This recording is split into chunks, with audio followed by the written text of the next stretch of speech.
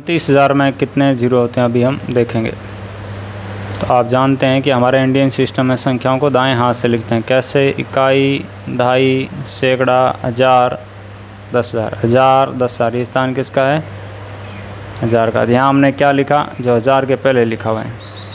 कितना? तीन छः कितना होता है?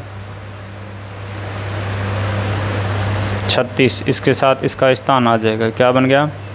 छत्तीस हज़ार। छत्तीस यानी कितना? तीस छः तीस यानी थर्टी। छः यानी सिक्स। हज़ार यानी thousand. T H O U S A N D तो क्या बन गया? Thirty six thousand. One, two, three. कितने ज़ीरो है? तीन ज़ीरो है। तो इसको आप ऐसे आसान तरीके से समझ सकते हैं।